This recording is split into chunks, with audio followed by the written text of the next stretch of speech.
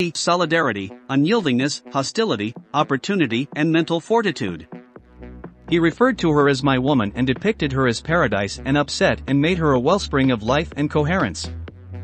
Nizar Qabbani is a writer of ladies in love who gave his verse in books to featuring the job of ladies in the public eye, presence and life, portraying her as everything extraordinary in the public arena. He celebrated all aspects of its creation, as he was exposed to numerous reactions in view of his misrepresentation in portraying ladies, as some saw that this embellishment surpassed Middle Easterner and Islamic ethics and values. I read the book of womanhood, letter by letter, and I actually don't have the foggiest idea what happens in ladies' minds. Qabbani portrayed in his own language, as well as being strong in his language and picking his points, the lady in a picture that is hard to draw, in his most conspicuous sonnets, My Woman, Qabbani reflected in his verse, which was portrayed by effortlessness and way of talking, the character and job of ladies in impacting men through their knowledge. Al-Qabbani zeroed in the majority of his sonnets on the idea of a lady's battle to accomplish herself and her womanliness, and the secret mystery behind that was his sister's self-destruction in his experience growing up, after her family constrained her to wed a man she didn't cherish, which left a profound effect on himself, which was subsequently demonstrated in his confidential journals, where he expounded on his sister's self-destruction, he said, the image of my sister biting the dust. For adoration is engraved in my, my tissue. Her demise was more gorgeous than Rabia al-Adawiya. The artist of affection depicted the lady in nine sentences. Trust. Nizar Qabbani lauded the term and job of the lady himself when he said, You are a lady who stays a woman, at all times. Being a woman, you need to realize that you are half of life, and that you are the whiteness, that you are the spring, and a drop of downpour for a fruitless land. Determination. Qabbani expounded on ladies' determination in two sentences. When an obstinate young lady tells you, presently, realize that she cherishes you and love arrives at the pinnacle when a lady surrenders her tenacity. Influence force. The writer of Adoration referenced the force of ladies' impact and that they do and influence men with little words through which they can steer a man's life. In the most natural sounding way for him, the man says in the lady what he wants, but the lady does in the man what she needs. He likewise summed up her solidarity when he said, each lovely lady is normally equipped. Secret. Nazarin noticed the lady's secret, her extraordinary knowledge, and the absence of an unmistakable comprehension of what is happening in her mind in his well-known sentence, I read the book of womanliness letter by letter. I actually don't have any idea what happens in ladies' minds. Accuracy in choice. Qabbani typified the lady in his sonnets as the sovereign, who has no equivalent, and that she doesn't settle on a choice besides in the wake of considering and that she is precise in her decisions, whether it is a decision connected with her sentiments or her public life, and he said, when a lady resorts to you, you kick the bucket for her. The best of men. Upset and opportunity. In his sonnets, the holy person of words associated the female with every one of the highlights of thriving and culture, when he said, civilization is female, culture is female, language is female, the sonnet is female, the tree is female, and upheaval is female. Modesty and dauntlessness. In the most natural sounding way for him about ladies, the artist of adoration joined the logical inconsistencies, as he underscored that she can consolidate various qualities from others in circumstances, where he said, bashful, yet she knows very well when to be striking. Those are the most grounded ladies. Knowledge. The lady's writer discussed her knowledge and her insightfulness at the hour of quietness, saying, The lady's quiet is an admonition message to the man that he is near the precarious edge of dropping out of her heart. Progression. Nizar Qabbani depicted ladies in the most natural sounding way for him as the justification behind life, and that she and love are the premise of congruity throughout everyday life, and that without them there is no life, saying, love and ladies are the justification for the continuation of the universe.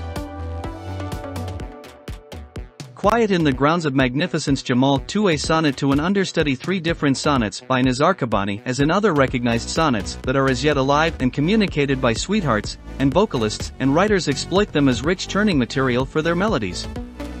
A sonnet to a student tell me, regardless of whether an untruth, delicate words a sculpture nearly killed me with you are still in the craft of adoration a kid, between you and me there are oceans and mountains you have not yet had the option to comprehend that all men are youngsters. I won't be a bantam bozo whose words see tricks, so in the event that I stand before your excellence quiet quietness in the safe haven of magnificence, the excellence of our words in adoration, kills our affection. The letters bite the dust when accounts of enthusiasm are told, they have debased you they are all unconsciousness. What's more, a fantasy. What's more, the dream of affection is certainly not an oriental novel with its decision, the legends get hitched, yet it is cruising without a boat, and our inclination that appearance is unthinkable is that it stays on the finger's jerk and on dried lips and inquiry is the stream of distresses in our profundities, plants develop around it. Furthermore, the grain.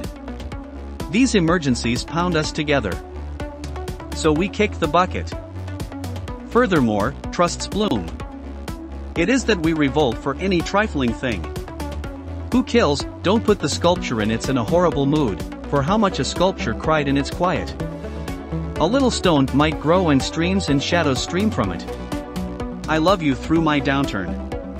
Different sonnets by Nizar Qabbani coming up next are some of Nizar Qabbani's melodious sonnets. The sonnet of September verse generally accompanies the downpour and your beautiful face generally accompanies the downpour and love possibly starts when the downpour music begins. On the off chance that September comes, my affection, I get some information about your eyes each cloud, as though my adoration for you is attached to the planning of the downpour. Fall scenes incite me, your wonderful pallor incites me, the blue congenital fissure incites me, and the silver studs in the ears incite me. The cashmere sweater and the yellow and green umbrella incite me. The morning paper incites me like a lady who jabbers. The smell of espresso on dry paper incites me. So how would it be advisable for me to respond? Between the lightning blazing in my fingers and the expressions of the Savior? Toward the start of fall, a peculiar sense of safety and peril comes over me. I dread that you will move toward me. Is the long stretch of September that keeps in touch with me? Or on the other hand, is it the downpour that keeps in touch with me? You are an uncommon winter franticness, I wish I knew lady the relationship of frenzy to rain. My woman, who passes like surprise in the place that is known for individuals, grasping a sonnet. What's more, in the other hand a moon. O lady I love, who causes verse to detonate when she steps on any stone, O lady who conveys in her paleness every one of the distresses of trees, how wonderful is exile in the event that we are together, O lady who sums up my set of experiences and the historical backdrop of downpour. When I chose to expound on my involvement with affection, I thought a great deal, what is the utilization of my admissions? Before me, individuals expounded on affection a great deal. They portrayed it on the walls of caverns, and in stoneware and earth vessels. Before, they engraved it on elephant ivory in India, on papyrus in Egypt and on rice in China. What's more, gave it contributions, and gave it promises. At the point when I chose to distribute my contemplations on affection, I wavered a ton. I'm not a minister, nor did I work on showing understudies, and I don't trust that roses are obliged to make sense of aromas for individuals. What am I composing, lady? It is my experience alone. Furthermore, it concerns me alone. The sword penetrates me alone. So it increments with death in presence. At the point when I went on your ocean, my woman. I didn't take a gander at the guide of the ocean, nor did I convey with me an elastic boat. Nor a lifesaver. Rather, I progressed to your fire like a Buddhist. What's more, picked destiny. My pleasure was to compose with chalk. My location on the sun. What's more, my child over your scaffold's bosoms. At the point when I went gaga for you. I saw that the red cherries in our nursery became round ashes. What's more, that the fish scared of the youngster's snare. Come in millions to toss seeds into our shores. What's more, that the cypress has expanded in level. What's more, that life has expanded in broadness. What's more, that God has he at long last gotten back to earth?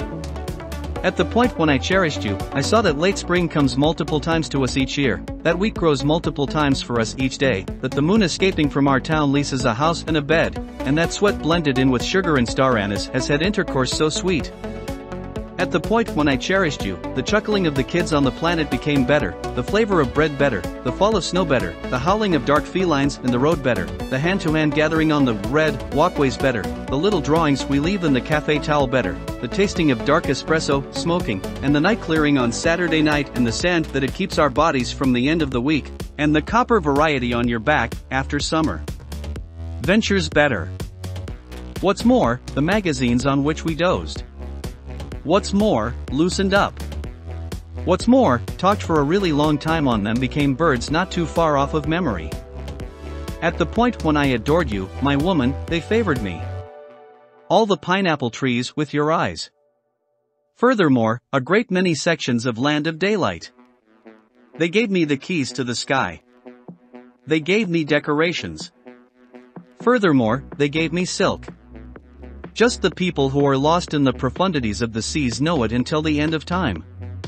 What am I expounding on your affection, lady? All my memory recalls is that I got up in the first part of the day to consider myself to be